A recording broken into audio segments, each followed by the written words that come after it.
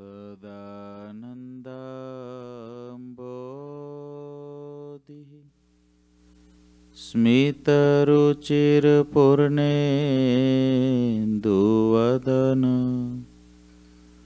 प्रफुल्लम्बो जन्मच्छदसदृश शोभाक्षियुगल कृपापारावार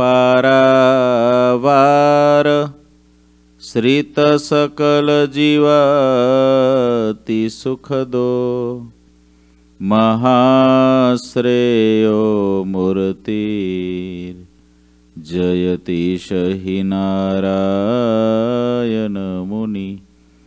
वर्णिवेशरमणीयदर्शनम् मन्दहासरुचिरानम्बुजं पूजितं सुरनरोत्तमेर्मुदा धर्मनन्दनमहं विचिन्तये ॐ अवतारिणे श्रीस्वामिनारायणाय नमो नमः। ॐ श्रीहरिकृष्णाय नमो नमः। ॐ श्रीपूर्णपुरुषोत्तमाय नमो नमः। બોલો શ્રી સ્વામિનારાયણ ભગવાનની. શ્રી હરિકૃષ્ણ મહારાજની જય. શ્રી ઘનશ્યામ મહારાજની જય. બધાય ભક્તોને એથી જય સ્વામિનારાયણ. સદગુરુ આધારાનંદ સ્વામી શ્રી હરિચરિત્રમ સાગર ગ્રંથની અંદર પૂર સાતમો અને તરંગ અઠ્યાવીસ એમાં છેલ્લે કથા લખે છે, સદગુરુ આનંદ આનંદાનંદ સ્વામી સંત મંડળને લઈને બાબારાવ સુબા છે એનું જે લશ્કર છે ત્યાં જાય છે.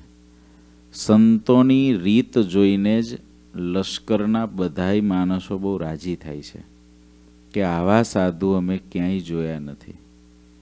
આનંદાનંદ સ્વામીએ પછીથી બાબા રાવને જ્યારે ગુણ આવ્યો છે ત્યારે સુબાને તપેલું લોઢું છે એટલે સ્વામી કે ઘા મારી દેવો જોઈએ એમ વિચારીને સ્વામીએ સાંપ્રદાયિક આખી રીત અને સંપ્રદાયના સંતો, હરિભક્તો અને સ્ત્રી ભક્તો બધાયની રીત એ સુબાને કીધી છે. કે આ સ્વામિનારાયણ સંપ્રદાયમાં તો આગળ તો એક મીરાજ એવા થયા નિષ્કામી કે જે સાંખ્યોગ પાડીને ભગવાન ભજ્યા. આગળ સુલભા નામની સંન્યાસીની એક સ્ત્રી થઈ, જ્યારે ભગવાન સ્વામિનારાયણને ત્યાં હજારોની સંખ્યામાં સાંખ્યોગી બહેનો છે. આવી બધી વાતો આનંદ આનંદ સ્વામી કરે છે. આગળ સ્વામી જે કહે છે સુબાને, એ વાત અહીં આગળ લખેલી છે.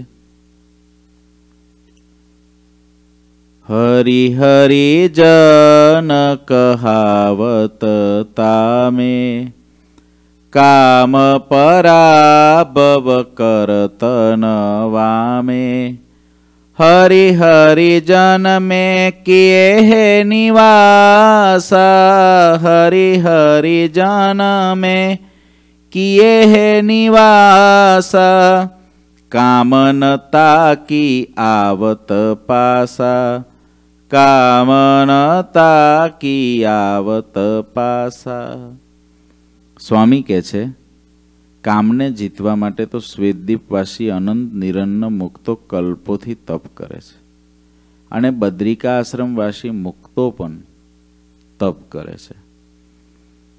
ભગવાન અને ભગવાનના ભક્તો જે કહેવાય છે, તેમને કામ પરાભવ કરી શકતો નથી. કેમ જે? જેને ભગવાન અને ભગવાનના ભક્તની સાથે નિવાસ કર્યો છે, તેની પાસે કામ આવતો નથી. વ્યક્તિ જ્યારે નવરો પડે છે, ફ્રી પડે છે, ત્યારે રાગાત્મક સૃષ્ટિ આપોઆપ સર્જાય છે. મનને મહારાજે કહ્યું, કારણ કે આ બધું જ કામ, બધું જ કરવાનું જે કામ છે, મન જ કરે છે. મન એકવાર સ્ત્રીમાં પરોવાઈ જાય, મન એકવાર રસમાં પરોવાઈ જાય મન એકવાર ધનમાં પરોવાઈ જાય અને એમાં જો તીવ્ર વેગ લાગી જાય, તો વ્યક્તિ જાણતો હોય છે કે આ કરવા યોગ્ય છે ના નથી કરવા યોગ્ય છતાં પણ એ તરફ દોડી જાય છે. માટે વેગ નહીં આવે એવું જો સાધક અથવા સાધન દશાવાળો વિચારશે તો એ ક્યારેય શક્ય નથી. પરંતુ મનને જો ભૂતને જેમ વાંસળો બતાવી રાખ્યો, પેલા ભૂત એક જણને ખાવા માટે દોડતું હતું એને વશ કર્યું હતું કામ પતી જાય એટલે એને ખાવા આવે. બોલો કે, આ કામ કરી આવો. એટલે કામ કરીને પાછું આવીને એને ખાવા આવે. એટલે એક સંતને પૂછ્યું કે શું કરવું સંત કે, આ તારા ચોકમાં એક વાંસળો ખોઈ ખોસી દે. અને ભૂતને તારે કામ હોય ત્યારે કરાવવાનું. બાકી એને કહેવાનું હોય ઉતર ચઢ કર. એટલે વાંસળા ઉપર ઉતર ચડ કરશે એટલે તને ખાવા તૈયાર થશે. એમ મહારાજ કે મન ભૂત જેવું છે. વ્યક્તિને રાગાત્મક સૃષ્ટિ ત્યારે જ પ્રગટ થાય છે કે જ્યારે એ એકલો પડે, ભગવાન સંબંધી ક્રિયામાંથી નિવૃત્ત થાય. અહીં આગળ કે છે, ભગવાનને ભગવાનના ભક્તની સાથે નિવાસ કરવાથી કામ નથી આવતો. કામ પાસે નથી આવતો. કામ ટળી ગયો છે એવું ના કીધું. એની અંદર કામ છે ખરો, પણ પાસે નથી આવતો. કેમ? કારણ કે ભગવાનને ભગવાનના ભક્તોની પાસે અખંડ ભજન સંબંધી ક્રિયાઓ થતી હોય. ભગવાનને ભગવાનના સંતો પાસે અખંડ કથા વાર્તા થતી હોય. આ બધું ભગવાનને ભગવાનના ભક્તો પાસે થયા કરે, જેના કારણે કામ, સ્વાદ, માન, લોભ આ બધું આવવા સમર્થ થતું નથી. પણ ભગવાનને ભગવાનના ભક્ત પાસે કે સંત પાસે રહેતો હોય, પણ પાછો ઉનાના શેઠિયાનું સાઈટનો પરિવારો તો એમ રહેતો હોય, તો એને કાંઈ અસર થાય નહીં. સોમા સ્વામીએ વાતમાં કીધું? ઉનાના શેઠને સાઠ વ્યક્તિનો પરિવાર હતો, પણ સંઘ તો ત્રણનો જ હતો. સંઘ તો ત્રણ જ જણને હતો, છોકરાને, માને બાપને. પરિવાર કેટલાનો? સાઠનો. પણ સંગ ત્રણનો હતો. એમ રહેતો હોય ભગવાન કે ભગવાનના ભક્ત ભેડા પણ ભગવાન કે ભગવાન, અરે ભગવાનના ભક્તો જ્યારે ભજન કરતા હોય, ત્યારે આંટા મારતો હોય. ગુણાદિતાનંદ સ્વામી જ્યારે વાતો કરતા, ત્યારે સ્વામીની વાતોમાં લખાણું, સ્વામી કે પરદેશથી લોકો અહીં વાત સાંભળવા આવે છે અને અમારા ઉપર વાહર ખાય છે. બોલો. ને ઉપર છે ને લોબી હોય ને, એ લોબી અંદર પવન બહુ સરસ આવે. એ કે પરદેશથી માણસ અમારી વાત સાંભળવા આવે છે.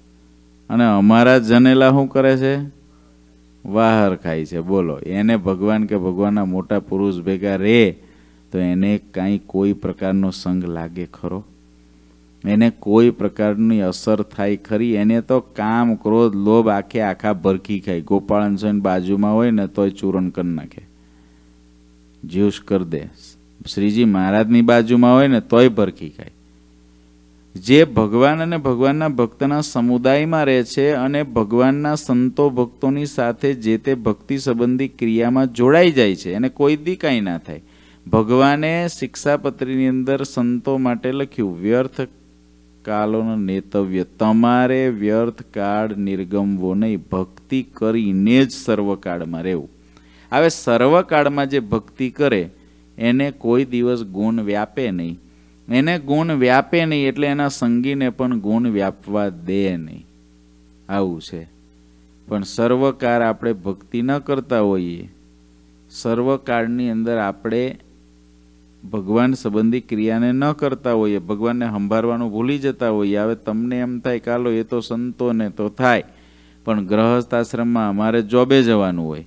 તો સર્વકાળમાં ભક્તિ કેવી રીતે કરવી? તો ત્યાં આગળ જોબનું કામ કરતાં કરતાં ભગવાન તો સંભાળાય કોમ્પ્યુટર પર કામ કરતા હોય તો બાજુમાં હરિસ્મૃતિ ધીરે ધીરે વાગતી હોય. અને જો ડિસ્ટર્બન્સ ના થાય એવું હોય, તો સહેજે તમે એક બાજુ પર ભગવાનનું કીર્તન સાંભળો છો. તમારી જોબનું કામ પણ ચાલુ છે. ભક્તિ કરી શકો છો. મહામંત્ર સ્વામિનારાયણ સ્વામિનારાયણ મહામંત્રની ધૂન હોય, એકદમ ધીરા અવાજે વાગતી હોય ને તમે તમારું કોમ્પ્યુટર પર કામ કરો, વર્ક કરો. રાત્રે ઘણા ભક્તોની નાઇટ શિફ્ટ હોય છે, તો તમે જનમંગલના પાઠ કરો છો ને, ભગત જ્યારે જોબ કરતા ત્યારે કરતા ને ચાલતા ચાલતા ચાલુ. લો. તો થઈ શકે છે. જેને ભક્તિ કરવી છે, એને ગમે તે રીતે થઈ શકે છે. હવે જે ભજન પરાયણ જ રહે એને કોઈ દિવસ બીજું કાંઈ આવવાના ચાન્સ જ નથી. હમણાં જ એક હરિભગત ભેગા થયા. મને કે કે અમારા અમારા દાદાના દાદા હતા.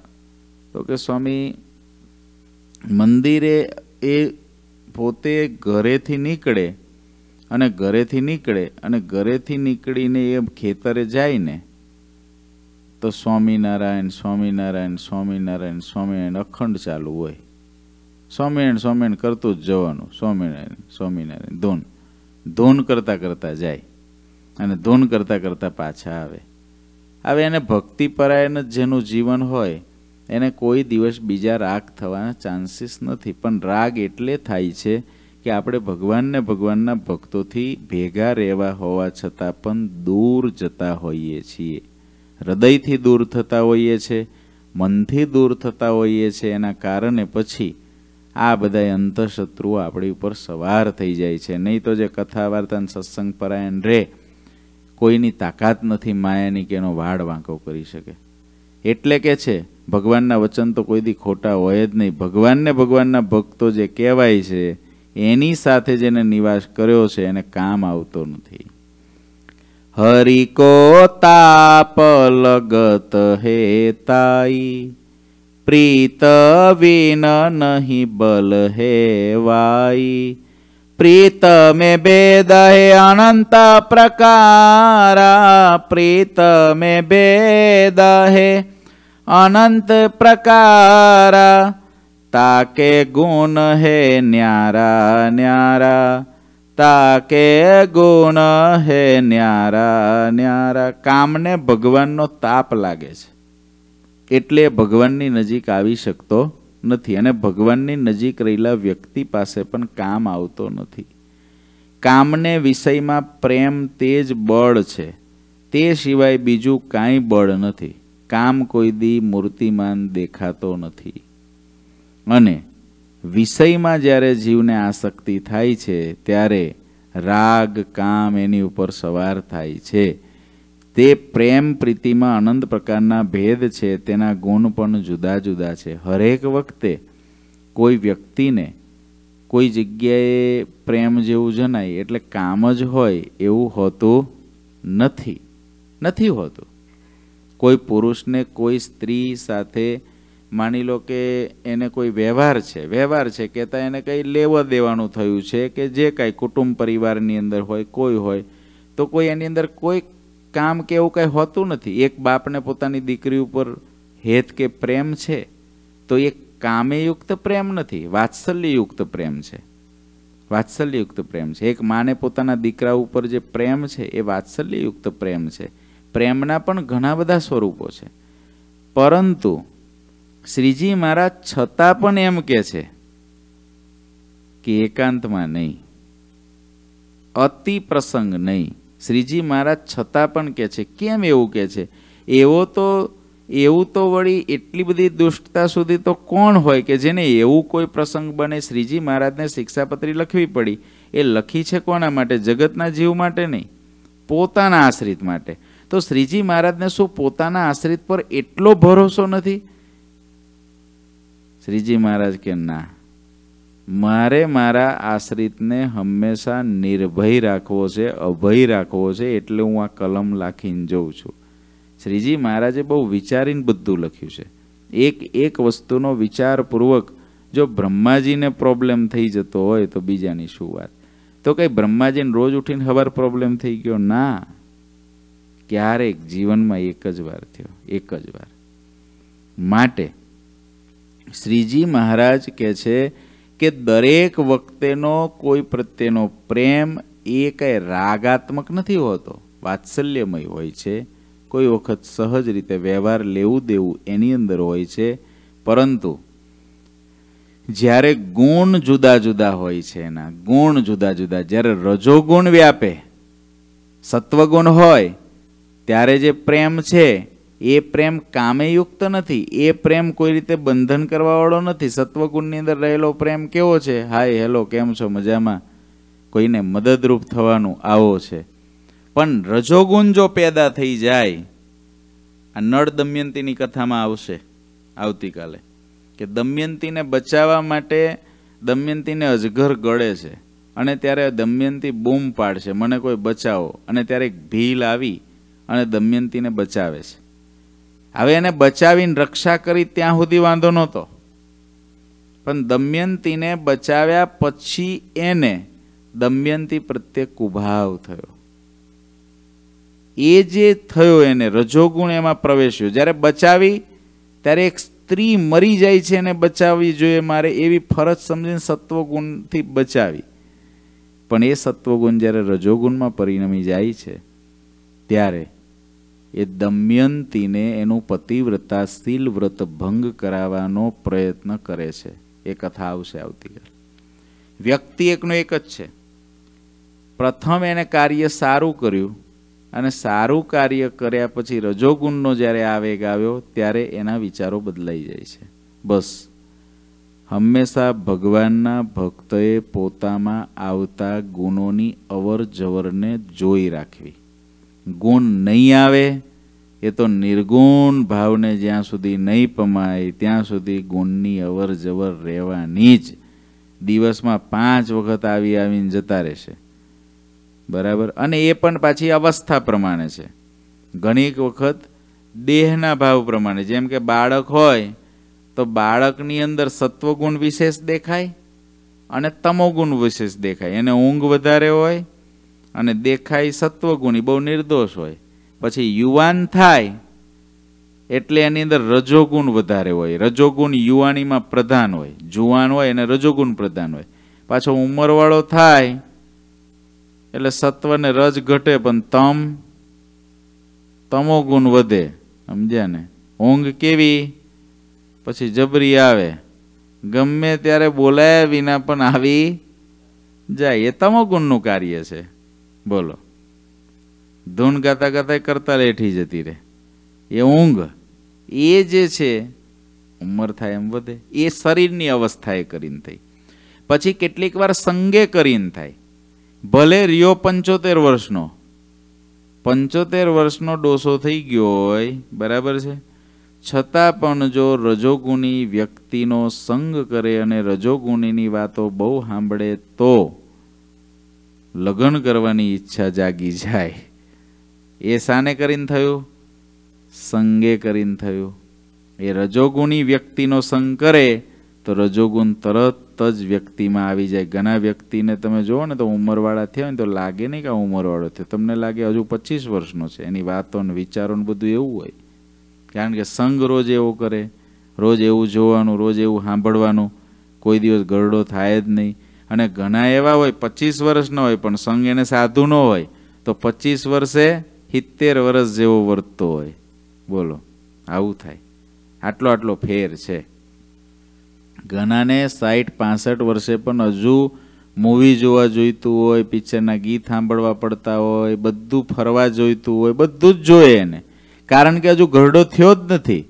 એનો સંગ રજોગુણીનો છે અને ઘણા પચીસ, ત્રીસ વર્ષના હોય ને બધેથી આસક્તિને તોડીને ભગવાનને ભજતા હોય. આવા તો સત્સંગની અંદર એ દેખાય ને સમાજમાં દેખાય. આ બધું જ અવર જવર ગુણની ભગવાનના ભક્તએ પોતામાં જ્યારે ગુણ આવે ને ત્યારે ઓળખવા જોઈએ. ગુણને ઓળખવાથી થાય છે શું? કે જ્યારે સત્વગુણ હોય ત્યારે આપણે ભક્તિ કરી લેવી જોઈએ, ધ્યાન કરી લેવું જોઈએ, શાસ્ત્રનું વાંચન કરીને ઠચ કરી લેવું જોઈએ. જ્યારે રજોગુણ આવે ને, ત્યારે ક્યારેય એકાંત ના પકડવું.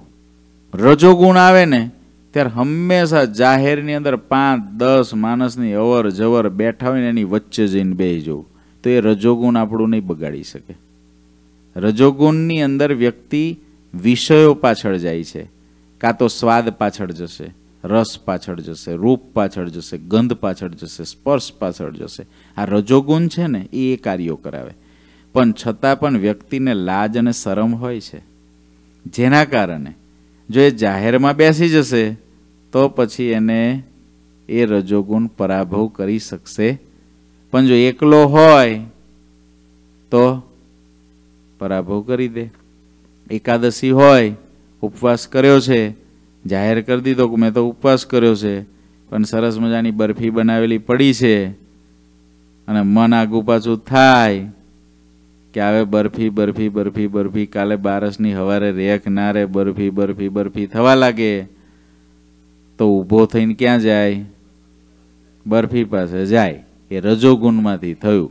અને પછી ન્યાથી બરફી ઉપાડે અને મોઢામાં મૂકી દે તો બરફ એકાદશી ભાંગી જાય. ભાંગી જાય? પણ એવી ઈચ્છા થઈ ત્યારે પાંચ માણસ બેઠા હોય એની વચ્ચે જતા રહે. કે નહીં મને હું થયું છે એમ. પણ ખાલી બેહી જાય ને એટલે અડધો પોણો કલાક કલાકમાં ગુણ તો વિદાય. ગુણ વિદાય થઈ ગયો એટલે જાણે કાંઈ છે જ નહીં. ઘણી વખત આ ધારણા પારણા બધું કરતા હોય ને આ જે કરે એને ખબર પડે, જે કરે ના એને કાંઈ ખબર ના પડે. એ શરૂઆત હોય ને, ત્યારે ધારણાના દિવસે કેમ થાય? તો ચાર, પાંચ, છ વાગે ને હાંજ પડે ને થોડી ભૂખ લાગે, ખરું, ભૂખ્યા, ભૂખ લાગી, હવે કાલે જો હવાર પડી જાય તો?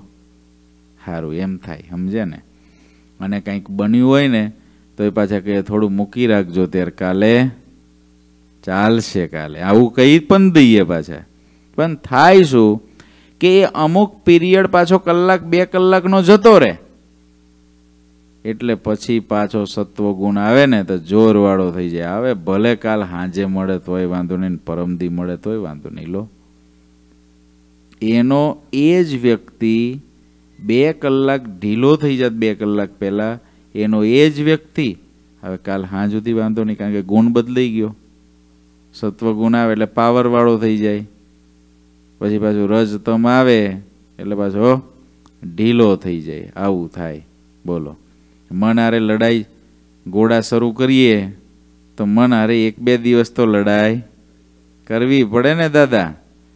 કરવી જ પડે, કરવી જ પડે. બાકી મન સીધું કરવા ના દે, એ કે ક્યાં ચડી ગયો તું? આ રવાડે સિત્તેર વર્ષે હવે આ રવાડે ક્યાં ચડ્યો? હવે તો તારે ખાઈ પીને લેર કરવાનો ટાઈમ આવ્યો. ત્યારે સિત્તેર વર્ષે ગોળા પર ચડવાનું? એવું છે. હવે તો લાડવા પર ચડવાનું છે. હવે ક્યાં ઘોડા પર ચડ્યા? મન એવું કે, એટલે બે ચાર દિવસ રોજ પેલું ચાર વાગે ફ્રૂટ જમતા હોઈએ. અરે ભાઈ, અમારા દાદા ચાંદ્રાયણ કરે છે એટલે આ કથામાં કહું છું. કોઈને થાય કે આ શું છે? અમારા દાદા ચાંદ્રાયણ કરે છે. ઇકોતેર વર્ષે. બોલો. હવે ચાર વાગે ફ્રૂટ જમતા હોય સવારમાં નાસ્તો કરતા હોય ગરમ ગરમ દૂધની અંદર બોર્નવિટા નાખીને પીતા હોય, હે, કપની અંદર પાપડી હોય એક બાજુ પર. અને જો સેવ મમરા કરી કરી ભગવાને ભાગમાં આપ્યા હોય તો એ પડ્યા હોય. કાગળની અંદર આમ બે પાંચ વસ્તુ આમ છૂટી છૂટી સરસ હોય. આમ એક દૂધનો ઘૂંટડો ને એક પાપડી ને, એ દાદા, આ બધું યારું ચાંદ્રાયણ ચાલુ થયું અને બંધ. એટલે હવારમાં ઉઠીને બધું યાદ તો આવે ચાર વાગે એટલે પેલો ફ્રૂટનો બાઉલ યાદ તો આવે જ ને. પણ દાદા કેટલા હોશિયાર, મેં જોયું ચાર વાગ્યા ને આજે. ત્યારે ભીખુ દાદાને બધા આમ ગયા ને તમે, તો દાદા આમ ટેબલ બાજુ જતા રહ્યા. કારણ કે દાદાને ખબર છે કે આજે મારે હવે કંઈ બાઉલ પકડવાનો. આજ તો હવે સાંજે ગોળા આવે ત્યારની વાત ત્યારે.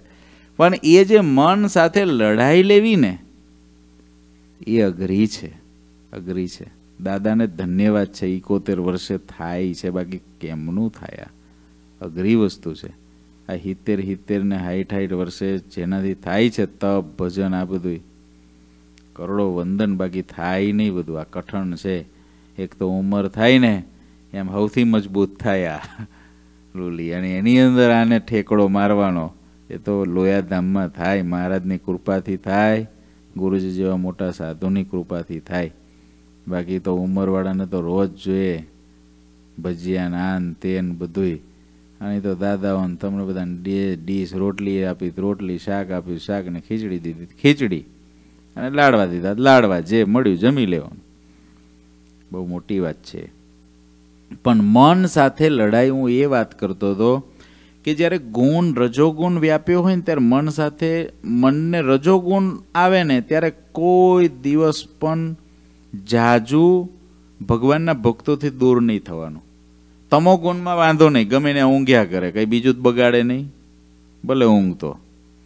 સત્વગુણની અંદર નો પ્રોબ્લેમ પણ રજોગુણ આવે સૌથી વિશેષ ભગવાનના ભક્તને રજોગુણ અવસ્થાને જાળવવાની છે. તમો ગુણમાં ઊંઘી જાય ને, તો કંઈ ખોટું તો નહીં કરે.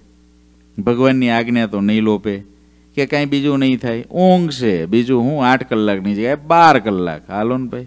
વાંધો નહીં. નડે તો નહીં કોઈને. સત્વગુણની અંદર ભગવાનની ભક્તિ કરશે, ભગવાનમાં જોડાયેલો રહેશે, ભગવાનની સ્મૃતિ કરશે, એમાં નહીં પ્રોબ્લેમ કરે. પણ ભગવાનના ભક્તના કલ્યાણ બગાડવામાં વધારેમાં વધારે ભાગ ભજવતો ગુણ હોય, તે રજોગુણ છે. એટલે ભગવાનના ભક્તને ત્રણ ગુણને બરાબર ઓળખવા એમાં રજોગુણને ઓળખીને અવશ્ય મેવ એ ગુણની અંદર સાવધાન રહેવું. સાવધાની એટલી જ એટલી જ સાવધાની. જ્યાં ભગવાનના ભક્તનો સમુદાય હોય, એવી જગ્યાએ જઈને બેસી જવું. એવી જગ્યાએ એના વાસ, એની વચ્ચે વાસ કરો ત્યારે જાજા એકાંતમાં ના જવું. કારણ કે લોભ જાગ્યો છે. હવે રૂપિયા ચોરી કરવાની ઈચ્છા થઈ. ભગવાનનો ભગત છે તોય થઈ. કે આ ગલ્લામાં જોબ કરું છું, લાવો ને બસો, પાંચસો ઉઠાવી લઉં. હવે લોભ જાગ્યો. ત્યારે ભગવાનના ભક્તને શું કરાય? જાહેરની અંદર બે જણ બીજા હોય ને ત્યાં જઈને બેસવાનો પેલા વિચારને પકડી રાખવાનો. દ્રષ્ટા થઈ જવાનો. હજુ ટળ્યો નથી ને, ત્યાં સુધી જાજુ એકલામ નહીં. કોકને કહેવાનું, રેજો મારી બાજુમાં કેમ ભાઈ, કઈ બીક લાગે? ના ના, રોને અહીંયા આગળ. બીક લાગે, અંદર આવ્યો છે. કોણ આવ્યો છે? લોભ આવ્યો છે મારી ડોકી. મરડી નાખે એવો આવ્યો છે. બેહો નહીં બાજુમાં. બેહો બેહો. એમ ના કહી શકીએ તો કાંઈ નહીં, પણ એમને કહેવાનું, ના, થોડી વાર રોકાણ, આપણે વાતો કરીએ તો થોડું સારું લાગે. સત્સંગ કરીએ થોડો, એમ. ત્યાં સુધી પેલો લોભ વિદાય થઈ જાય. સમજ્યા? બે કલાક, એ લોકો એ લોકો પાસે બહુ ધીરજ નથી હોતી. કામ પાસે, લોભ પાસે, આ બધા પાસે બહુ ધીરજ ના હોય. એક બે કલાકમાં તો જો માલ ના મળે ને, તો કે, હાલો ભાઈ, ફરી આવશું, કાલ આંટો મારી જશું. કાલે આંટો મારી જશું. કે અત્યારે ચાર વાગે તો આરો નથી આ ગાંઠ, તો હવે એને કેટલા વાગે પકડીએ? તો કે સવાર સાત વાગે પકડો. સાત વાગે એકલો હોય છે, એટલે સાત વાગે પકડવા આવે પછી. પણ એ લોકોને પછી બે વર્ષ સુધી ધક્કા ખવડાવીએ ને આવી રીતે, એ લોકો જો રમત કરવી પડે આવી. કારણ કે કેટલીક વાતમાં આપણે એકલા સમર્થ ના હોઈએ કે આપણે એકલા પહોંચી વળીએ. પણ આપણે બે પાંચ જણ વચ્ચે જઈને બેસી જઈએ ને તો પછી એ લોકો આગા પાછા ના થાય. કારણ કે આપણને લાજ હોય એટલે આપણે એને કંઈ કોઈકની સામે જ કોઈ ચોરી કરે નહીં. કોઈકની સામે જ ચોરી કરે નહીં. કોઈકની સામે તો કાંઈ ખાઈ લે નહીં. કોઈકની સામે તો કોઈ સ્પર્શ કરે નહીં. કે ગમે ને ગમે એના ગંધ ઊંઘવા જતો રહે નહીં. એની શરમ આવે. શરમ આવે એટલે લાજે કરીને સ્વામી કે આપણું તો અડધો અડધ નહીં, પૂરેપૂરું રહે. એટલે લાજથી રહે. એટલે આ બધા શું કરે? બે વર્ષ સુધી આટા ખાય. પછી લાગે કે આ તો હોશિયાર છે. ભલે ચોખ્ખો નથી થઈ ગયો, પણ હોશિયાર તો ધક્કા બહુ ખવડાવે છે. એટલે આપણે આને ઘેર જવું, આની રિંગ, આપણે રિંગ બેલ જ બંધ કરી દો આનો એટલે પછી છે ને જૂની ડાંગર જેવું થઈ જાય બધું. જેમ જૂની ડાંગર થાય એવું કે, એમ મહારાજ કે જન્મ મરણ ભોગવાવે ને એવી વાસના ના રહે. ખાલી સ્મૃતિમાં રહે, પણ જન્મ મરણ ભોગવાવે એવી ના રહે. આ બધી રાજનીતિ છે, આધ્યાત્મિક નીતિ છે. રાજનીતિ, આધ્યાત્મિકતાની રાજનીતિ, એ મહારાજ કે શીખવી પડે. અને શીખે ને તો ચટ ચટ પગથિયા સત્સંગના ચડી જાય, વાર જ ના લાગે, વિઘન વિના જતો રહે. પણ જ્યારે એને લોભ કરવાની ઈચ્છા થઈ, ચોરી કરવાની ઈચ્છા થઈ, અને ત્યારે પાંચ જણની અંદર હતો ત્યાંથી એકલો જઈને પછી ગલ્લે પૂકે તો તો ચોરી થવાની જ. બરફી જમવાની ઈચ્છા થઈને પાંચ જણની વચ્ચેથી ઊભો થઈને એકલો ગયો, તો જમવાનો જ. પછી તો ઓલા છોડતા હશે. ખૂણા મળ્યો કે મારે છૂટકો આવે આને. ધોકાઈ નાખે આખે આખો. ચૂસી ખાય. આ તો બધા એવા છે. અને ચૂસ્યા પછી છે ને આમ કરીને નાખી દે, જા. પછાડીને નાખે પાછા. ચૂસીને પછાડીને નાખે. અને નાખે ને પછી આ પાછો ભગવાનનો ભગત હોય એટલે એને એમ થાય, અરે, રે રે રે, ક્યાં મારી એકાદશી હતી? ક્યાં મારે વ્રત હતું ને ક્યાં ખાઈ લીધું? શું કરવા ખાઈને મને શું મળી ગયું? પછી એટલું બધું બ્રહ્મજ્ઞાન પેદા કર થાય એના અંદરથી. કારણ કે સત્વગુણ આવી ગયો, એટલે બ્રહ્મજ્ઞાન બધું ઉલે જાય. ઓહો હો, અરે, મારે આવું કંઈક કરવાનું નહોતું ને હારું, આ કેમ થઈ ગયું? મારે કરવું જ ના, જો હું ભગવાનનો ભગત છું, આ ભાઈ છે જ. તો હાચવને થોડું. જે ન્યાય નથી જવાનું, ત્યાં ખૂનો શું પકડે છે.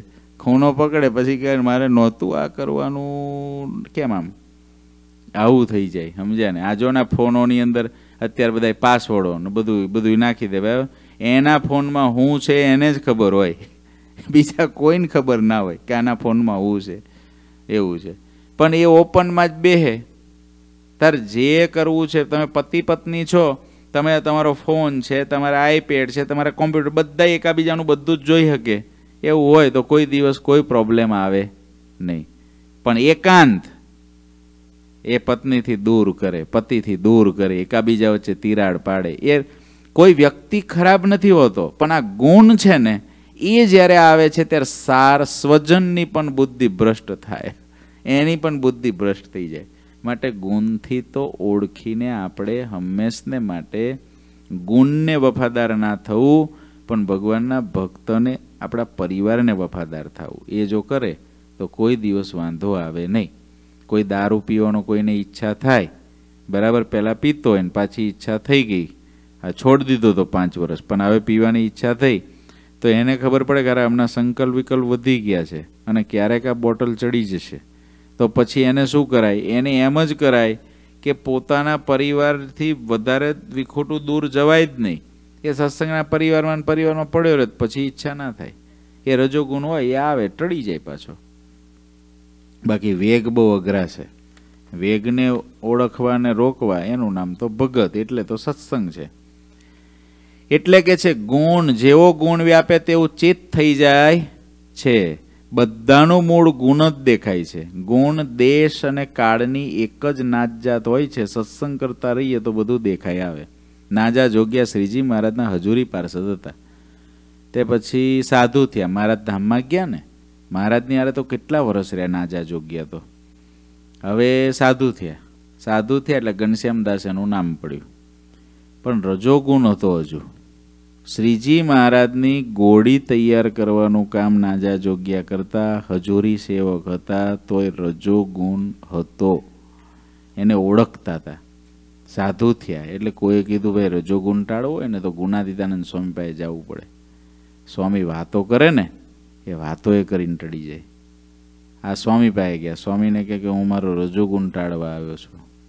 સાધુ થયેલા. સ્વામી કે વાંધો નહીં, એ બધા વાતો સાંભળે છે, આપ પણ સાંભળો. તમે તો મહારાજની સાથે રહેલા છો, હજુરી સેવક છો. એમાં, એ રોજ શું કરે? કથા પતે ને પછી સભા મંડપમાં ધ્યાન કરવા બેહે. એટલે સ્વામીએ એક વખત જોયું. એટલે સ્વામી કે ઘનશ્યામદાસ મૂર્તિનું ધ્યાન કરજો, મૂર્તિનું કે, બીજે કંઈ ના પૂગતા હવે આનો તેજાબી સ્વભાવ હતો. મહારાજ જ્યારે રહેલા એનો પાવર કારણ કે પાછા પાંચ જણા કે ને, તમે તો મહારાજના હજુરી પાર્ષદ, તમે તો મહારાજને જેવા જાણ્યા હોય એવા તમે ના જાણ્યા હોય, આવા પાછા પાંચ પંપ મારે. અને પાછું જીવની એવું હોય કે એને પાછી હવા ભરાઈ જાય. એટલે નાજા જોગી એટલે ઘનશ્યામદાસ કે, સ્વામીને કે, ખોટું આડું કરવા નાખો છો કે એવું? અમે મૂર્તિનું ધ્યાન કરવા બેઠો છું, તમે એવું આડું કરો નાખો છો. સ્વામી કે, ઘનશ્યામદાસ ગઢડા ઓલી ધોળા તીલીવાળી ભેંસી સંભાળતા હતા ગઢડાની અંદર બાંધેલી કે પછી ધ્યાન કરતા હતા બોલો. ભેંસ સંભાળો છો કે ધ્યાન કરો છો? બોલો. શ્રીજી મહારાજ તો હજુરી પાર્ષદ. બીજો નહીં, શ્રીજી મહારાજની સેવામાં આખી જિંદગી ગાળી નાખી છે ને એવા. ત્યારે તરત નિર્માની થઈ ગયા. સ્વામી, વાત સાચી છે કે તમે જાણી પાડ્યું. સ્વામી કે અમને ખબર જ હોય. પણ નિર્માની થઈને જો સમાગમ કરશો ને તો કામ થશે. જો નિર્માની થઈને સમાગમ નહીં કરો ને, તો મહારાજ ભેગાએ અધૂરું રહ્યું ને અમારી ભેગાએ અધૂરું રહેશે. આ રજોગુણ તમારો નહીં ટળે. અને ઘનશ્યામદાસજીને ખપ હતો. બધો રૂઆબ છોડી દીધો. જે પેલો અંદર આમ પોતે બધું ઓળખતા હતા, અંતરદ્રષ્ટિવાળા હતા. પણ પેલો પાવર ચડી જાય કે હું તો મહારાજની ભેગો રહેલો એમ. પણ ભાઈ ભેગા રહી કામ નથી થતું. જે કામ જેમ થતું હોય એમ જ થાય. ભેગા રે તોય ના થાય. ગોપાળન સ્વામી ભેગા રે તોય ન થાય. શ્રીજી મહારાજ ભેગા રે તોય ન થાય. પ્રોસેસ પ્રોસેસથી જ થાય. કોઈ અમેરિકામાં રહે એટલે સિટીઝન થઈ જાય. અમેરિકામાં રહેવા માત્રથી સિટીઝન થઈ જાય એના કાગળિયા કરવા પડે. એનું જે પ્રોસેસ હોય એ કરવી પડે. અને પ્રોસેસ કર્યા વિના ભલે નહીં આખી જિંદગી રહે તોય ના થાય સિટીઝન. એવું છે પ્રોસેસ કરવી પડે. પ્રોસેસ પ્રોસેસ છે. દેશમાં રહેવાથી કોઈ દેશના સિટીઝન કે નાગરિક થવાતું નથી. એવી રીતે સત્સંગમાં રહેવાથી જ ફક્ત રહીએ એટલે ભ્રમરૂપ થઈ જઈએ એવું નથી. એના પ્રોસેસમાંથી પાસ થવું પડે. મુક્ત ભાવને પામવા એના પ્રોસેસમાંથી પાસ થવું પડે. આ બધા પ્રોસેસ છે. અને એને ઓળખવા પડે.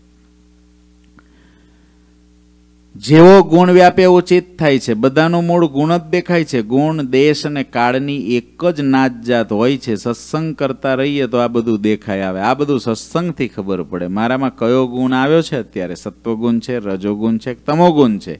એ સત્સંગ કરવાથી ખબર પડે.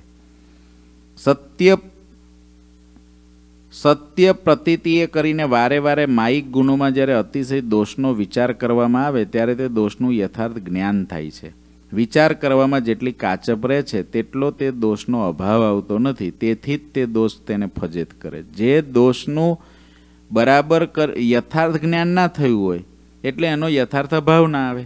અભાવ ના આવે, એટલે એ દોષ આપણી જોડે મિત્રતા કરવા આવે. જેનો અભાવ હોય, એ કોઈ દિવસ આપણને એની બાજુમાં બેસવું ગમતું અરે, સત્સંગમાં ભગવાનનો ભગત હોય અને આપણને બે કઠણ શબ્દ કીધા હોય ને આપણને એનો અભાવ આવી ગયો હોય, વારે વારે, હવાર, હાંજ, બપોર, એ જ સાંભળે કે મને આવું કહી દીધું, મને આવું કહી દીધું, મને આવું કહી દીધું. તે બાજુમાં બેઠો હોય ને, અને આપણે આમ બરાબર તલ્લીન હોય ભગવાનની કથામાં કે કીર્તનમાં ભજનમાં. પછી ધીરે ધીરે ખબર પડે કે તો બાજુમાં એ બેઠા છે. તરત ઊભા થઈને બીજી ખુરશીએ જતા રહે.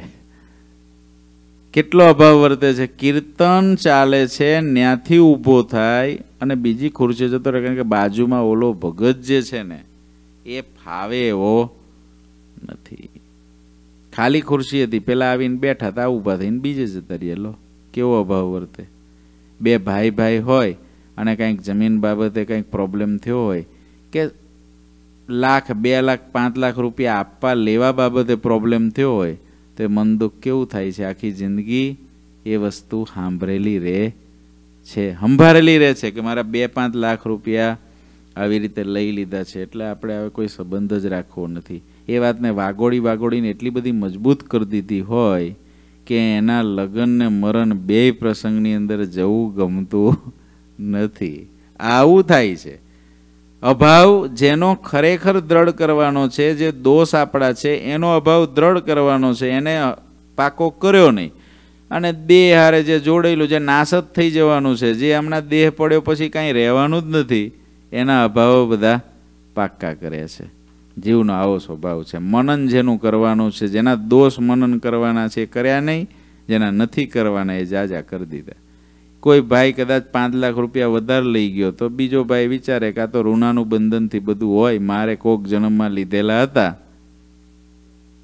સારું ભાઈ, ચાલ બેલેન્સ ઝીરો ઝીરો કર્યું, તારી દયા. તારી દયા, તું તારા ભાગનું મારી પાસેથી લઈ ગયો ને તારા ભાગ્યનું, એટલે મારે ફરી જન્મ નહીં ધરવો પડે, નહીં તો ફરી ભાઈ થવું પડે તારે. લઈ જા બેટા, જા. પાંચ ને છ લઈ જા જા. પણ મારાથી છૂટો થા. તો એવું જ એને વિચાર આવે કે મેં કોક જન્મમાં નહીં લઈ લીધું હોય ને, કારણ કે શ્રીજી મહારાજ તો મારે અન્યાય કરે નહીં. મારી સાથે મારો ભાઈ કપટ કરીને આટલા રૂપિયા લઈ ગયો, એનો અર્થ એ છે મારે કોઈક જન્મમાં આપવાના બાકી હતા એ વ્યાજ સહિત લઈ ગયો. ભાઈને કેવું તારી દયા છે મારી પર મોટા મોટી તે મને છૂટો કર્યો. મારે તો ફરી આવવું જ નથી અહીંયા આગળ. ફરી આવવું જ નથી. જો તે લેવાના બાકી રાખ્યા હોત તો તને દેવા માટે આવવું પડે. તેના કરતાં તે મને છૂટો કર્યો, ભાઈ, તારી દયા. હવે એ દ્રષ્ટિ છે અને બીજી દ્રષ્ટિ એ છે, લઈ ગયો છે મારું. મારું લઈ ગયો છે. જોઉં છું એને પચે છે કેવી રીતે છે. તો હવે એ દ્રષ્ટિ છે. હવે આપણે ખરેખર કલ્યાણના માર્ગે કેવા ચાલ્યા છે એ દ્રષ્ટિથી આપણને જે હોય એવું દેખાય. જેવી સમજણ હોય એવું દેખાય. આમાં એવું છે એટલે ભગવાનના ભક્તએ સમજણની અંદર થોડું ઉપર આવવાનું. ઉપર આવીએ એટલે આપણા હજારો પ્રશ્નોનું સમાધાન થાય અને જે ખરેખર આપણે જે, જેનો દોષ ગ્રહણ કરવાનો છે ને એ દોષ વારે વારે રટન કરીને ગ્રહણ થઈ જાય એટલે એ પછી આપણી પાસે આવે નહીં. ખેતરમાં જ્યારે અન્નનો પાક આવે, ત્યારે તેને બધા જ ખાવા ચાહે છે. જો તે ખેતરનો રખેવાળ તત્પરતા રાખે, ત્યારે તે બધું અન્ન ઘરમાં આવે. એનું રક્ષણ કરવામાં ધ્યાન ન અપાય તો પશુઓ અને પંખીઓ પંખીઓ ખાઈ જાય તો ઘરમાં પાક ક્યાંથી આવે? તે મતપંથીઓના ખેતર છે, એ રખેવાળ વિના ભેળાઈ રહ્યા છે. પણ સત્સંગરૂપ ખેતરમાં તો શ્રીહરિને સંતો રાત દિવસ અખંડ રખવાડી કરી રહ્યા છે. તેથી સત્સંગના ખેતરમાં પેસતા કામ કંપવા લાગે છે. અહીં તો રખેવાળો મજબૂત છે. આકલા પડકારા રાતને દી કરે છે. જાગતે રહો. આવા પકડકારા કરે છે એટલે કોઈ રીતે બીજું બધું આવવા સમર્થ થતું નથી. કદાચ ઘરી ગયું હોય ને તોય કાઢ નાખે. ઉપલેટાના અર્જન બાપા હતા. એને પોતાની દીકરીના મુખ ઉપર સીડીનો ડાઘ હતો, એને ખબર નહોતી. દીકરીના લગ્ન કરવાના થયા, ત્યારે સામે પક્ષવાળા જોવા આવ્યા. તે બધું જોયું, પછી અર્જન ભગતને કે, ભગત, દીકરી બધી રીતે હારી છે. પણ મોઢા ઉપર શીરડીનો ડાઘ છે થોડો. ભગત કે હશે? ભગતે શું કહ્યું? હશે. એટલે ભાઈ હશે તમારી દીકરી ઘરમાં તમે ઉછેરીને હશે કહો છો? અર્જન ભગત કે મને એ અમુક ઉંમરની થઈ, પછી મને ખબર જ નથી કે કેવું એનું મોઢું છે ને કેવી છે. અમે હું એને ધારીને કોઈ દી જોતો નથી. આવી સ્થિતિવાળો ભગત. કોઈને સાચું ના લાગે, પણ હતું સાચું. પછી એ અર્જન ભગતને ઉંમર થઈ. તે અર્જન ભગત બીમાર રહ્યા, ચાર વર્ષ બીમાર રહ્યા ધામમાં જાય નહીં. એનો દીકરો હતો જયરામ.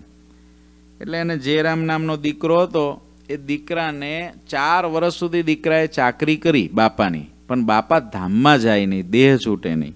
તે કૃષ્ણચરણદાસ સ્વામી આવ્યા ત્યાં આગળ. એટલે કૃષ્ણચરણદાસ સ્વામીએ સ્વામીને જે રામે કીધું કે, સ્વામી, આ મારા બાપા છે, એને તો ગોપાળન સ્વામી ગુણાધ્યાન સ્વામીનો સમાગમ કર્યો છે અને એના આશીર્વાદ લીધા છે ત્યાં ભગવાનને મોટા મોટા સંતો શું ભૂલી ગયા છે કે? મારા બાપાને મોટા મોટા સંતો અને મહારાજ ભૂલી ગયા છે? કે લેવા આવતા નથી? ત્યારે કૃષ્ણચરણદાસજી સ્વામી કે, તારા બાપાને, મહારાજને મોટા સાધુ ભૂલે એવા નથી. પણ અમે મહારાજને પ્રાર્થના કરીએ છીએ કે જે હોય એ મહારાજ તને જણાવે અને બાપાને પછી ધામમાં લઈ જાય. સ્વામી આમ કહીને આશીર્વાદ આપી નીકળે. સ્વામીએ પ્રાર્થના કરી. તે મહારાજ એ જ રાત્રે પેલા જયરામ ભગતને દર્શન આપ્યા. જયરામ ભગત કે મહારાજ, મારા બાપાનો કઈ નિકાલ કરો. ચાર વર્ષથી આવડા મોટા હરિભગત, બે સંતોના કૃપાપાત્ર ગુણાત્યાન ગોપાળન સ્વામીના કેમ આમ? મહારાજ કે, તારા બાપા છે બહુ જોરદાર ભગત. એને તારી બેન હતી ને, એના મોઢા ઉપર સીડીનું ચિહ્ન હતું ને, એ એને નહોતી ખબર સીડીના ડાઘની. આટલો બધો આકરો ધર્મ નિયમવાળો તારો બાપો છે. પણ આ તારે ઘેર છોકરો આવ્યો છે ને નાનો, એ જ્યારનો આવ્યો છે ને, ત્યારનો બાપો થોડોક એમાં ખસ્યો છે કે. મારામાંથી એમાં ખસ્યો છે. એટલે હવે જો એમાંથી તોડાઈ દે, બાકી એને બીજો કંઈ પ્રોબ્લેમ નથી. બાકી બધી રીતે કમ્પ્લીટ છે. જે રામ કે કરવાનું શું? તો કે બીજું કાંઈ નહીં. તારા છોકરાને કે આવતીકાલે દંડો લઈને અર્જન બાપાને બતાવે ને કે, અરે બાપા, મારામાં હું તમે હેત રાખી રહ્યા છો, ભગવાનમાં જોડાવ ને તો લાકડી દઉં છું કે. તારા છોકરાને કે આવું કે બાપાને? તે બીજે દિવસે સવારમાં જયરામે એના દીકરાને બોલાવ્યો. નાનો હતો. બેટા, આપણે આપણા દાદાનું સારું કરવું છે કે? હા કે, હા, કરવું છે ને? તારે આપણે દાદાને ધામમાં મોકલવા જ ઠેક અક્ષરધામમાં તો? કે આ મોકલવા છે ને? તો હું કહું એવું તાર કરવું પડશે. છોકરાને દાદામાં બહુ હેત. અને દાદાને છોકરામાં હેત. પ્રોબ્લેમ તો એનો હતો. એટલે તો દેહ છૂટતો નહોતો. તો હવે શું કરવું? પેલો છોકરો હતો ને, તો આને શીખવાડ્યું આવું કરવું પડશે. બોલો કે દાદાને એવું કરાય, જો દાદાનું સારું કરવું છે કે નહીં આપણે? તો કે આ તો કે, બસ કર. એટલે હવારની અંદર છે ને ઓલા દાદા તો એને, અર્જન બાપા તો એના એના ટેવ પ્રમાણે, અ આમ કરીને બોલાવ્યો છે ને આ ઓલા લાકડી લીધી. મને હું સંભાર્યા કરો છો કે મૂર્તિ સંભારો તોડો મારામથી એ આવડા મોટા ભગત થઈને ગુણાધ્યાન સ્વામી ગોપાળન સ્વામીની સેવા કરીને એમને સેવાને મારામાં હેત રાખો છો કે? દઉં છું કે લાકડી હમણાં આમ કીધું ને, અર્જન બાપા તો વિચક્ષણ હતા. તરત જ આમ આત્મા જાગી ગયો. ઓહો, ક્યાં ફસાનો ક્યાં ફસાનો દીકરીને મોઢું જ નથી જોયું, એમાં ના ફસાનો આખી જિંદગી આટલું ભજન કર્યું, આટલા સત્સંગી દીકરા દીકરીઓ એકાંતિક ભાવને પમાડીને તૈયાર કર્યા. આટલો સત્સંગ આપવાવાળો હું. આવડા બે મોટા સદગુરુઓનો સમાગમ કરેલો હું, આમાં કા? અને તરત વૃત્તિઓને હંકેલ લીધી. તરત વિમાન આવ્યું ભેગા થઈ ગયા, ધામ ભેગા. આવું છે. સત્સંગની અંદર જો આ રખેવાળી કરવાવાળા ભગવાનને સાધુ છે તો છોડાવી દીધા. રખેવાળી જો કરવાવાળા ના હોત, તો ક્યારે છૂટત? એવું છે. એક એક એટલા છોકરાનું હેત, બાકી બધું હતું, પણ જો એમાં હેત બંધાયેલું રહે તો પ્રોબ્લેમ થાય એટલે રખેવાળી કરવા માટે ભગવાનને ભગવાનના સાધુને આ સત્સંગની રખેવાળી કરવા રાખ્યા છે. આપણી રખેવાળી કરે છે. રાત ને દિવસ આપણા આત્માને જાગતો રાખે છે. આ શાસ્ત્રો. રાત દિવસ અખંડ રખવાડી કરી રહ્યા છે. તેથી સત્સંગના ખેતરમાં પેસતા કામ કંપવા લાગે છે. કેવી રખેવાડી રખેવાડી એટલે પેલા જોઈતા ખાચર ખાલી ભવાયા જોવા ગયા. એ જોવા તો નહોતા ગયા. એ તો પાકા ભગત. રોજ અવારે કાર્યાનીમાં મહારાજના પ્રસાદીના સ્થાનોએ દર્શન કરીને બપોર બાર વાગે ઘેર આવે. આવા ભગત. પણ આ પેલા ભવાય કે આ આગેવાન છો ને તમે આવો તો અમારું જામે ને પછી ગામ લોકો આવે ને ભગત કે પણ મારે તો શિક્ષાપતિની આજ્ઞા છે જોવાય નહીં, તો કે નહીં આવવું પડે તમારે. ખાટલો ઉપાડીને લઈ ગયા. પછી જતા રહેજો કે તમે. તમે આવશો ને તો તમારે પાછળ આખું ગામ આવશે. ભગત તો ત્યાં બેઠાય નહીં, બે મિનિટ બેહીને નીકળી ગયા. પણ હરિભક્તો જોઈ ગયા કે જોઈ તો ગયો તો આ. બીજે દિવસ સવારમાં જઈને સાધુને પહેલાં પહેલી ફરિયાદ કરી કે તમારા જોઈતા ખાચર તો છે ને સ્વામી મોટા ભગત કહેવાય, તમે બહુ વખાણ કરો, પણ ત્યાં હતા, ભવાયા હતા ત્યાં. રાત્રે અમે ઘેર આવતા જોયા ત્યાંથી જ ઊભા થઈને આવ્યા ઘર મારું બાજુમાં જ, એ થોડું થોડું ડોક્યું કરી લેતો હોય, પણ કોકની ફરિયાદ કરવાની મજા આવે. કોઈકની ફરિયાદ કરવાની એવી મજા આવે ને. હા, એ ડોક્યું કરે ને તો એ સાવકાર. એ ડોક્યું કરી લે, પણ કોકનું બતાવી દે કામ છે એમ. મારું ઘર બાજુમાં જ ને ને આ મેં જોયું ને ત્યાંથી ઊભા થઈને નીકળ્યા હતા તે તે જોયું ત્યારે ભવાયા રમતા હતા એ થોડું જોઈ જ લીધું હશે ને તે, કારણ કે ભવાયા ચાલુ હતા ને જોઈતા ખાચર નીકળ્યા હતા તેમાં એક હરિસેવાદાસ કરીને સાધુ હતા ને થોડા આકરા હતા. જોઈતા ખાચર આવ્યા ને, સીધું જોઈતા ખાચરને લાત મારીને હેઠા નાખ્યા મંદિરના દાદરથી. હેઠો ઉતર કે હેઠો ઉતર, કંઠી કાઢ. તું સ્વામિનારાયણનો સત્સંગી થવાના લાયક નથી કે ભવાયા જોવા ગયો તો આવા મોટા વસ્તા ખાચરનો દીકરો થઈને આવડું મોટું તીલું કરે ભૂસી નાખે તીલું ને બધું જોઈતા ખાચર કે, સ્વામી, તમારો કૂતરો છું. મારે મંદિરમાં આવ્યા વિના રહેવાશે નહીં. આ રખેવાળી કરવાવાળા આવા સાધુઓ હતા, હોય, છે, ત્યારે આપણો જીવ ભગવાન તરફ જાય. રખેવાળી કરવાવાળા ભગવાન, આ સ્વામિયાણ સંપ્રદાયની વિશેષતા એ છે કે સ્વામિયાણ સંપ્રદાયમાં આપણા આત્માની રખેવાળી કરે એવા ભગવાન ને ભગવાનના સાધુ પ્રત્યક્ષ બિરાજે છે. આપણને કાન જાલીને રસ્તે લાવે પાછા. એવા હરિભક્તો છે કે કદાચ સાધુ ભૂલો પડે તો એને રસ્તે લાવે. એ બધું આ રોકટોકનો સત્સંગ છે. આ કાંઈ સત્સંગ એવો નથી મલમ પટ્ટીનો. સવાર ઉઠ્યાને મલમ લગાડ્યો, બપોર ઉઠ્યાને મલમ લગાડ્યો, હાંજ પડીને મલમ લગાડ્યો, તો મલમ મલમ મલમ કરી અને આખો મેલો થઈ જાય જીવ. મલમમાં તો જીવ મેલો થઈ જાય. એવું છે. પણ જેની અંદર રોકટોક થાય, હાકલો પડકારો થાય, જીવને જગાડવામાં આવે, ત્યાં જીવનું કલ્યાણ થાય. સત્સંગરૂપ ખેતરમાં તો શ્રી હરિન સંતો રાત દિવસ અખંડ રખવાડી કરી રહ્યા, તેથી સત્સંગના ખેતરમાં પેસતા કામ કંપવા લાગે છે. આદર ભાવ વિના પ્રેમ થતો નથી અને આદર ભાવથી જ પ્રેમ થાય છે. સત્સંગમાં કોઈ કામને ક્યારેય આદર દેતા જ નથી. કામને આદર જ નહીં. ભાઈઓ દેખીને ભાઈઓ છેટેરા ચાલે. પડી વસ્તુ કોઈની હાથે નવ જાલે રાજ અક્ષરના વાસી વાલો આવ્યા યવની કામને આદર આપે તો આવે ને. કોઈનું ધન પડ્યું છે ત્યાં નજીક જઈએ તો લેવાની ઈચ્છા થાય ને. પારકી સ્ત્રી કે પારકો પુરુષ છે, એની સાથે હાસ્ય વિનોદાદિક ને બેઠક ઉઠક એકાંતમાં કરે તો બીજો કોઈ થાય ને? પણ એ વસ્તુ જ નહીં.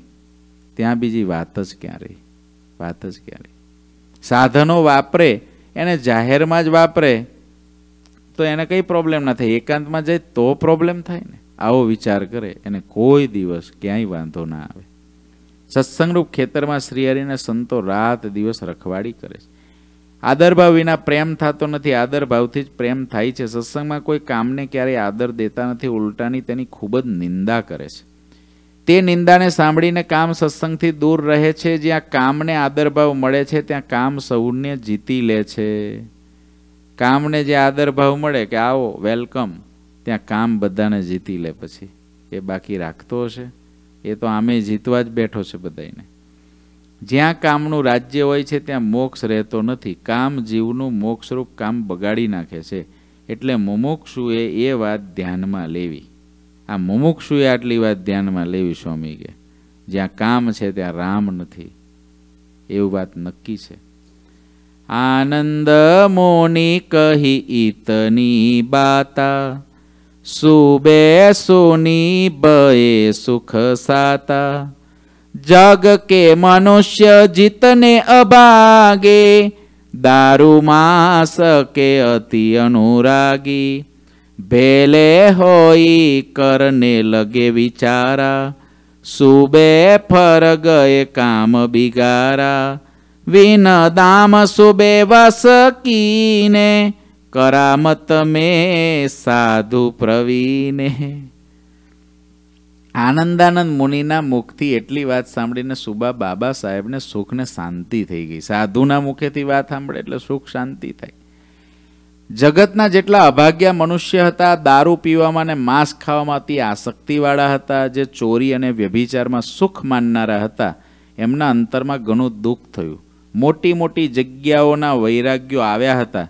એ બધા ભેળા થઈને વિચાર કરવા લાગ્યા, અરે, સુબો ફરી ગયો.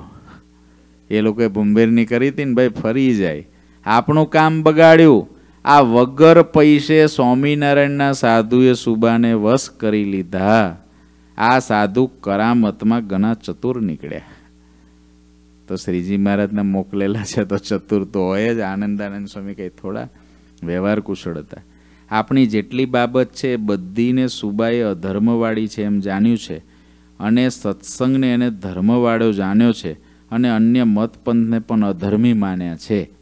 તે સાધુએ જે અધર્મની રીત કઈ બતાવી છે, તે બધી અત્યારે આપનામાં રહી છે. હવે તેની સમજાવેલી વાતને આપણે ખોટી કઈ રીતે કરી શકીએ? વિચારે છે. સુબો હવે આપણી વાતમાં ચિત્ત નહીં દે, પરંતુ સુબો કાંઈ સત્સંગી થયો? હજુ આપણી પાસે છે સમય. સુબો કંઈ કંઠી પહેરીને સત્સંગી નથી થઈ ગયો. એ સાધુઓ જેને છોડાવે છે તે તો એ સુબાને જોઈએ છે.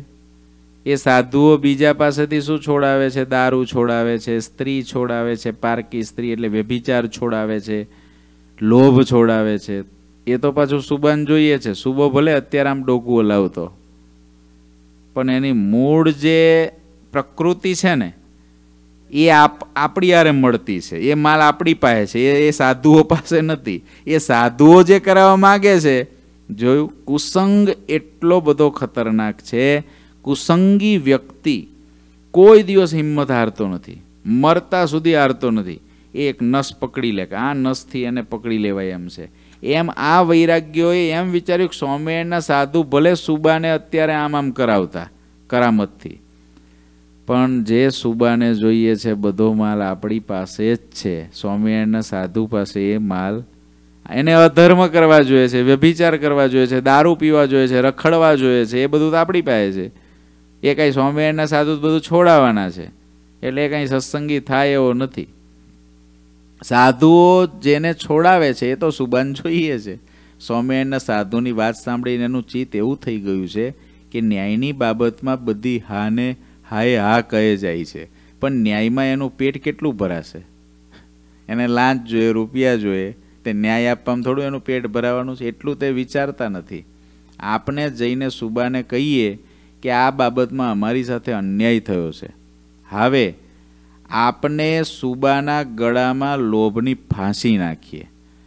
સુબે કોડારો લોભ ગલે ફાંસી. વિન લોભ હોય જાય ઉદાસી, લોભ વિન ઓર નહીં ઉપાયા વસીકર્ણ વિદ્યા તામે આયા. હવે આપણે સુબાના ગળામાં લોભની ફાંસી નાખીએ, લોભ નહીં દેખાડો તો આપણા કામથી ઉદાસ થઈ જશે. લોભ દેખાડ્યા વિના હવે બીજો કોઈ ઉપાય જ નથી. લોભમાં જ વશીકરણ વિદ્યા રહી છે. જેને અધર્મનો ડર ન હોય તે શું ઉપાય ન કરે? અર્થાત આપણે કહેશું તેમ શુભો કરશે. પણ આપણે ધર્મી લોકોએ ધર્મ વડે અધર્મને જીતવો જોઈએ. આવું વિચારીને બધા વૈરાગી ભેળા થઈને સુબા પાસે આવ્યા. તે વાત કરવા ગયા ત્યારે સુબો તેમની સામે ઘુરકીને બોલ્યો, તે વખતે બધા વૈરાગીઓએ હાથ જોડ્યા. અત્યાર સુધી ચીપિયા બતાવતા હતા, હવે હાથ જોડ્યા. અને તે વૈરાગી બોલ્યા, હવે તો મારો તોય તમે અને જીવાડો તોય તમે. અમને તો એક તમારા ઉપર હેતને વિશ્વાસ છે. બોલો, કેટલા બધા હેતવાળા થઈ ગયા? અમે બધા તમારા છોરું છીએ. માતા પિતા તો સામેથી બોલાવીને બાળકની સહાય કરે છે. બાળક હોય તે કદાચ ભૂલી જાય, પણ માતા પિતા તેને તજી દે, ત્યારે તેની શું ગતિ થાય? બાબા સાહેબને માતા પિતા કરી દીધા વૈરાગ્યોએ. ભેગા થઈને. કરાવવું છે શું? સાચા સાધુઓને મરાવા છે. સાચા સાધુને કાઢી મુકાવા છે. કુસંગીને અને અસુરને જેટલા રૂપ લેતા આવડે છે ને, એટલા દૈવીને લેતા નથી આવડતા. અસુરને બધા જ રૂપ લેતા આવડે. અસુરને બધી પ્રકારની ભાષા આવડે. અસુરને બધી પ્રકારના વર્તન આવડે. ભગવાનના ભક્તને સજ્જનને સાધુનું વર્તન, જીવનને વાત એક સરખી હોય છે. જ્યારે દુર્જનનું તો પડે પડે બદલાય. પાંચ વાગે જુદો હોય, આઠ વાગે જુદો હોય, ને બાર વાગે જુદો હોય, ને હવાર પડે જુદો થઈ જાય. આ દુર્જન. અને આ કળિયુગની અંદર દુર્જનોને અસાધુઓ એના ઢગલા બંધ ખડકે, ઢગલા બંધ ખડકાયેલા ગંજના ગંજ છે એની વચ્ચે શ્રીજી મહારાજે આપણને સાચો સત્સંગ, પોતાનું સાચું સ્વરૂપ, સાચા શાસ્ત્રો, સાચા સાધુ, સાચા હરિભક્તો જ્યારે દીધા છે ત્યારે પ્રેમથી ભગવાનને ભજવા આવું આપણે કાંઈ નથી, ભટકાઈ ગયા આવા જોડે. એ ભગવાનની મોટી દયા છે. નહીં તો આવી ભૂતાવળ જો ભટકાઈ ગઈ હોય ને, તો કલ્યાણના માર્ગના મૂળ ઉખડી જાય. અહીં આગળ આ લોકો કહે છે, તમે અમારા માતા પિતા છો, માટે તમારે અમારી સામેથી કાળજી લેવી જોઈએ. અમે ભૂલી જઈએ, પણ તમારે અમને ભૂલવા જોઈએ નહીં. ઇતિ શ્રી સહજાનંદ સ્વામી શિષ્ય સિદ્ધાનંદ મુનિ વિરચિત શ્રી હરિચરિત્ર સાગરના સપ્તમપુરમાં આનંદ મુનિએ સુબા પાસે નિષ્કામીપણું કહ્યું તથા વૈરાગ્યો સુબાને મળ્યા એ નામે અઠ્યાવીસમો તરંગ સમાપ્ત થયો. ગણેશ્યામ